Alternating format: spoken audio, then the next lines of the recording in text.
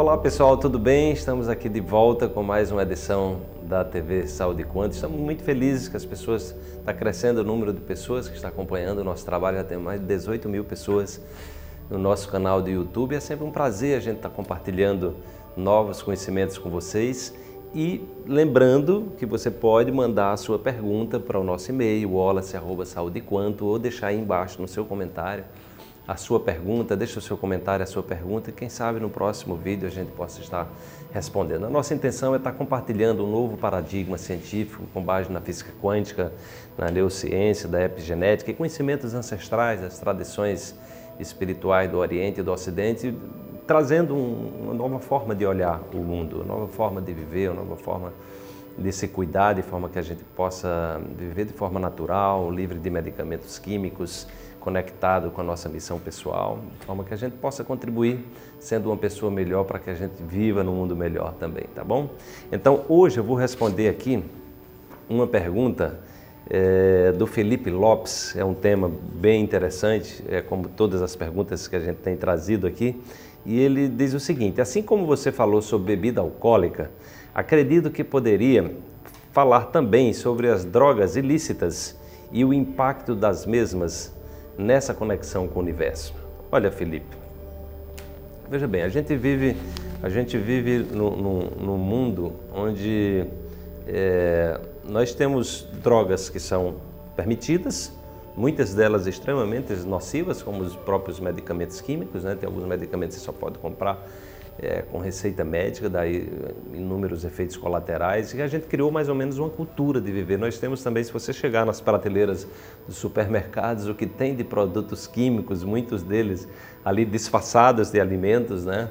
muitos deles que têm teor cancerígeno, que têm potencial de gerar, é, de influenciar inúmeras doenças crônicas no nosso organismo, enfim. Então hoje é, é difícil você é, distinguir, na verdade, essa questão da droga, às vezes passa por uma questão é, de, de uma compreensão da lei, né?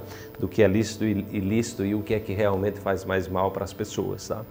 É, como eu falei, a gente, tem, a gente vive numa cultura, né? a cultura da distração. Né? Nós vivemos na cultura da distração. Então, o que é comum é exatamente as pessoas trabalham elas trabalham e é muito comum a gente ver inúmeras propagandas onde as pessoas estão aguardando chegar a sexta-feira, a sexta-feira chegar. Né? Como se a sexta-feira fosse o dia que ela fosse libertar do seu trabalho, de, de, de repente estar tá fazendo coisas que não gostam, enfim.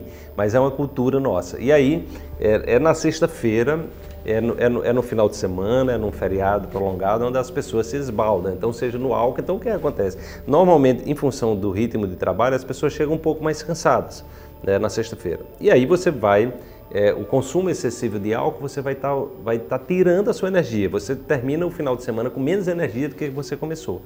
Sem falar do álcool, que eu já comentei aqui, é, você também tem o apelo das drogas ilícitas e muitas dessas drogas são drogas são drogas com potenciais químicos, né, também assim desastrosos. E naturalmente isso faz parte da dimensão humana, né? A minha compreensão que eu tenho hoje da realidade é que tudo que a gente está vivendo na vida são oportunidades. É né? por isso que eu não, eu quando falo das drogas, do álcool, eu digo para as pessoas que é, eu, já, eu, eu já bebi, eu, eu, conheço esse, eu conheço esse território porque eu fui criado no mundo normal, onde as pessoas desde cedo bebem, fumam, entendeu? Então é, eu fui educado assim também. É, a sociedade nos pressiona a conviver dessa forma, né? Mas eu encontrei uma, uma forma de viver que para mim é, me traz muito mais satisfação. No caso das drogas ilícitas, muitas delas que trazem um componente químico muito forte, como por exemplo a cocaína. Eu já visitei, eu já levei grupos é, para o, Machu Picchu, lá no Peru, várias vezes. Né? E eu tive a oportunidade de, de conviver diretamente com as folhas de coca. Então, a folha de coca é algo maravilhoso. É um recurso da natureza para as pessoas que vivem altas, naquelas, é, naquelas grandes altitudes, né? Elas mascando a folha da coca ou tomando a folha da coca, quando aquele ali, o ar fica rarefeito, ela oxigena melhor o cérebro. E, a, e, o chá da coca é extremamente benéfico. Eu tomei várias vezes, a, mascar a folha da coca é algo é extremamente benéfico, ou seja, é um presente da natureza. E o ser humano entra, descobre é, determinados princípios, princípios ativos, joga uma série de química ali, e aí você cria essa expectativa de você ampliar a, a, a sua visão, ampliar, ou seja, dos estímulos, a, aumentar os seus estímulos. Né? Da mesma forma como você vai encontrar nas farmácias alguns medicamentos que têm esses potenciais também. Né? Então, essa perspectiva de você estar tá se distraindo, de você estar tá buscando é, outro, outras, outros territórios, né, expandindo. Você tem drogas químicas, é, por exemplo, como o LSD, que já foi utilizado, inclusive, como recurso é, é, é, é terapêutico também. Né? Então, algumas dessas drogas, elas podem ser usadas né, de maneira, digamos, controlada, é, em pesquisas. O LSD, por exemplo, já foi utilizado em pesquisas científicas. Tá? E você vai encontrar no âmbito é, dos povos primitivos a utilização de plantas alucinógenas. Você vai encontrar o ayahuasca, você vai encontrar é, é, é, alguns tipos de cogumelo no México e que são utilizados em determinados rituais específicos com o intuito de, de expansão da consciência. Mas veja bem, há uma diferença muito grande nisso aí. É, essas drogas que são utilizadas nesses contextos de rituais, há todo um respeito, há todo um, há todo um, um, um há algo por trás né, que não é a simples diversão, não é a simples distração, como é o comum na nossa sociedade. E essas pessoas fazem aquilo num ritual, mas no dia, no dia a dia elas, elas desenvolvem lá os seus, é, digamos, as suas atividades normais. O que acontece hoje no mundo contemporâneo é que nós, é, a sociedade, principalmente no Ocidente, isso também está ganhando o Oriente agora, é, nós vivemos num mundo onde as pessoas estão buscando cada vez mais é, distrações para os seus sentidos, tá? É, para os seus sentidos. Então você tem uma área do seu, do seu cérebro, você tem várias áreas então, é que você, você pode estimular a sua visão, você pode estimular a sua audição, você pode estimular o seu tato, então você pode gerar inúmeros estímulos. E você pode fazer isso simplesmente para se divertir, simplesmente é, do ponto de vista de, de se distrair. Né? É, no entanto, tem uma, essa, essa área aqui, né, o lobo frontal, ela comanda todas as demais. Ela comanda todas as demais. Por isso que é chamado o diretor-geral do cérebro. Né? E quando é, você está nesse, nesse processo de, de, distração, normalmente você está, é, digamos assim, é, totalmente sendo levado pelas as suas experiências do passado, entendeu? Você está perdendo a oportunidade de ser uma pessoa mais criativa. Você, digamos assim, está entrando num processo em que você está se distanciando da sua auto-investigação. Tá? Então, o que é comum hoje né, nessa questão das, das drogas é, ilícitas e das drogas lícitas, lícitas, também, porque as pessoas estão se viciando em tomar Coca-Cola, as pessoas estão se viciando em tomar cerveja, as pessoas estão se viciando em qualquer coisa, em comer açúcar branco, entendeu? Em comer chocolate. É, então eu não faço muita, muita diferença, né? na verdade o que, há, o que há são níveis de percepções. Então você vai ter drogas ilícitas que levam você a nível de percepções, é, digamos assim, diferenciados. E aí você pode se viciar nisso.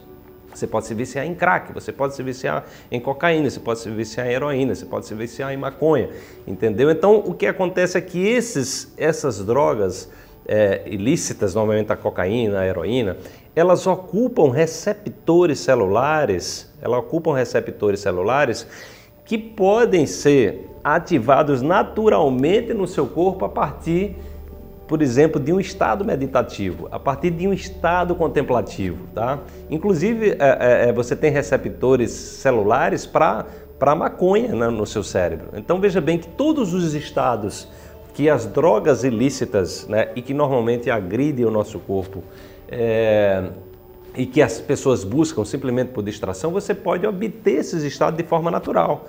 Só, só que dentro de uma, de uma outra perspectiva. Você pode, numa perspectiva de autoconhecimento, numa perspectiva de, de conhecimento da sua essência, de autoinvestigação e não simplesmente de, de distração. Então, me parece que essa é a grande, essa, isso é o que diferencia. Né? Ou seja, esses estados não usuais de consciência, você vai encontrar pessoas que entram em, em meditação profundas, que elas simplesmente acessam, elas mudam a frequência das ondas cerebrais e elas conseguem acessar os chamados universos paralelos que hoje são comprovados cientificamente. Tá?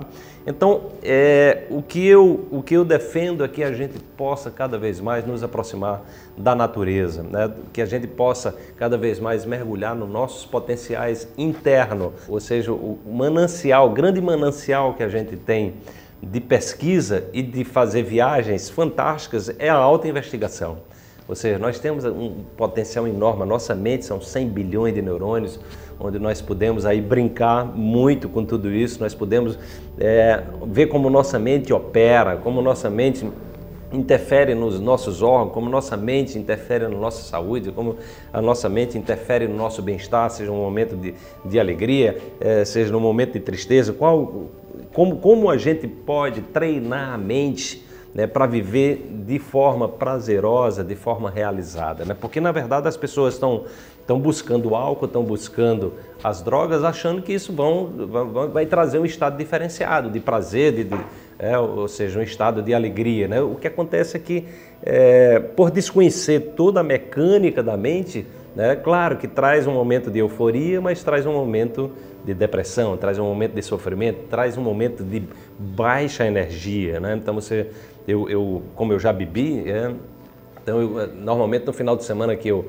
fazia grandes farras, eu terminava o final de semana exausto, ou seja, eu começava a semana é, quebrado literalmente, ou seja, energeticamente mais, mais fragilizado. Né? E aí você passa a semana, se recupera, quando chega na semana seguinte você baixa sua energia de novo, baixa sua energia de novo. Então, que tal a gente utilizar é, esses novos conhecimentos para que a gente mantenha a nossa energia alta, né? ou seja, a gente entre, entre em estados vibracionais que levem né, a, a, a, a, investigar os estados naturais que nós temos na mente que possibilitam a gente acessar todas essas maravilhas sem precisar agredir o nosso corpo.